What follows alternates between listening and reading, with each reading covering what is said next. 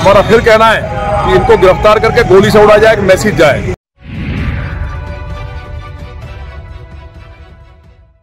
नमस्कार, इन खबर में आपका स्वागत है। कर्नाटक में पहले हिजाब विवाद और उसके बाद हर्षा की हुई हत्या ने पूरे सूबे को हिला करके रख दिया है।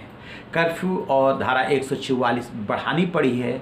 रविवार से लेकर अभी तक 14 से अधिक हिंसा और आगजनी की घटनाएँ हो चुकी है। इस मामले में छः गिरफ़्तार किए जा चुके हैं। इसके बावजूद विवाद थमने का नाम नहीं ले रहा है। सबसे बड़ा जो इसमें कंट्रोवर्सी है, वो ये कि क्या हर्षा की हत्या हिजाब विवाद से जुड़ी है? बीजेपी के संगठन मंत्री हैं बी एल संतोष। उनका कहना है कि हर्षा चूँकि हिजाब के अगेंस्ट था, इसलिए इसके हत्या के तार उससे जुड़े हो सकते हैं। वहीं से शिव मोगा से ही विधायक हैं, मंत्री हैं, ईश्वरप्पा, उनका कहना है कि मुस्लिम गुंडों ने हत्या की है। और अब राजस्व राज्य मंत्री है आर आसू वहीं के हैं कर्नाटक के। उनका बयान आया है कि ये हिजाब विवाद से जुड़ा है। है क्या हकीकत? क्या कुछ छुपाया जा रहा है? अभी तक छः गिरफ्तारी हो चुकी है, बारह से पूछताछ चल रही है। लेकिन जो गृह मंत्री हैं अर्गा ज्ञानेन्द्र वो कह रहे हैं कि नहीं, ऐसा कुछ नहीं है। होता क्या है कि आग में पानी डालने के लिए कई बार सरकारें ऐसा बयान देती है। उसमें जो गिरफ़्तार हुए हैं, उसमें से अधिकांश वही शिव मोगा के ही है और हर्षा भी शिव मोगा का ही था। फिर क्या छिपाया जा रहा है? क्या हो रहा है? ये तो बाद में पता चलेगा। बहरहाल, इस बीच में जो जगह जगह धरना प्रदर्शन और आंदोलन होने लगे हैं, उसी में से गाजियाबाद का विधानसभा क्षेत्र है लोनी, जहाँ से विधायक हैं नंद किशोर गुर्जर। हर्षा की हत्या और हत्यारों के खिलाफ कार्रवाई को लेकर के सबसे पहले तो उन्होंने कैंडल मार्च निकाला और उसके बाद उन्होंने क्या कहा? क्यों वो वैसी पे बरस पड़े? क्यों कह दिया कि दिल्ली में घुसने नहीं देंगे? इससे भी बड़ी बात जा करके उन्होंने बोल दिया। जरा सुनिए उनको। लेकिन एक सांसद होकर के इस तरह की वाहियात बात करता है लौनी में आने की बात की थी, औकात तो नहीं थी आने की। इस बार दिल्ली में भी हम घुसने देंगे ऐसे नीच लोगों को। अब देश के अंदर ये हालात नहीं है। उत्तर प्रदेश के अंदर समाजवादी पार्टी के मुखिया जब शेरू घाटी मारे गए जिहादियों के द्वारा तो कोई बोला नहीं और अखलाक गाय काटने वाले के लिए सारे के सारे वहाँ पहुँचे थे।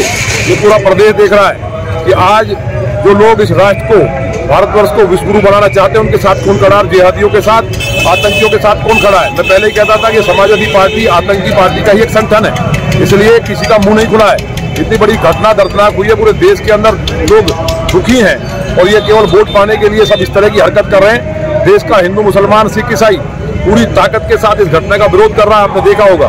इसलिए इसको तत्काल हमारा फिर कहना है कि इनको गिरफ़्तार करके गोली से उड़ा जाए, एक मैसेज जाए, जिससे कि भविष्य में इस तरह की घटना ना हो और पूरी तरह से लौनी के जो लोगों ने जिस तरह से आज उन्हें अपनी श्रद्धांजलि दी है, इससे पता चलता है कि लौनी वास्तव में राष्ट्रवाद के लिए हमेशा आगे रहे। जैसा कि आपने सुना, वो ये कह रहे हैं कि सिर्फ़ गिरफ़्तार करने से बात नहीं बनेगी, इनको गिरफ़्तार करके गोली से उड़ाइए अदरवाइज़ सबक नहीं सीखेंगे। सवाल इस बात को लेकर के हो रहे हैं कि हिजाब विवाद जो हो रहा था, वो तो अदालत में था। इसके बावजूद एक पक्ष उसको मानने को तैयार नहीं था। बार बार मुस्लिम लड़कियाँ जो है, हिजाब लगा करके स्कूल, कॉलेज पहुँच रही थी। यानी जानबूझ करके उसको तूल दिया जा रहा था। और हर साल हिजाब का यूनिफॉर्म का समर्थन कर रहा था, हिजाब का विरोध कर रहा था। लिहाजा दोनों घटनाएँ जुड़ रही है। इस पर लोग बटे हुए हैं। शिव कुमार है जो कांग्रेस के नेता हैं वो जो भी इसको लेकर के बीजेपी के नेताओं के बयान आ रहे हैं उसको लेकर के नाराज़गी जता रहे हैं। ईश्वरप्पा को लेकर के तो उन्होंने ऑब्जेक्शनेबल वर्ड तक निकाल दिए कि उन्हें होश ही नहीं है कि वो क्या बोल रहे हैं हो सकता है। इसलिए वहाँ पे नेताओं में बयानबाजी चल रही है। नेताओं में बयानबाजी चलती रहती है वो बा, बड़ी बात नहीं है। बड़ी बात यह है कि हर्षा को न्याय कैसे मिलेगा उसका कसूर क्या था? घर के बाहर ही उसको चाकू से गोद दिया गया। इतनी नृशंस तरीके से हत्या की गई और जो गिरफ्तारी हुई है अभी तक के जो छः लोग गिरफ़्तार हुए हैं उन- वो छः के छः जो है, एक धर्म विशेष से, एक वर्ग विशेष से जुड़े हुए हैं। लिहाजा यही संदेश जा रहा है, कहीं ना कहीं दोनों इंटरलिंक है। है या नहीं है, ये जाँच में पता चलेगा, लेकिन बीजेपी के तमाम नेता हैं जिनका मानना है कि हिजाब विवाद और ये जुड़ा हुआ है। चलिए देखते हैं आगे क्या होता है। शांति व्यवस्था बनी रहनी चाहिए और उसके लिए जिला प्रशासन वहाँ पे कदम उठा रहा है, लेकिन जिस तरीके से पिछले दो दिन में घटनाएँ हुई है, आगजनी की, हिंसा की, तोड़फोड़ की, उससे लग रहा है कि जिला प्रशासन को स्थिति को संभालने में मशक्कत अभी करनी पड़ेगी। तो आप रहिए ना बेखबर, देखते रहिए इन खबर। Thank you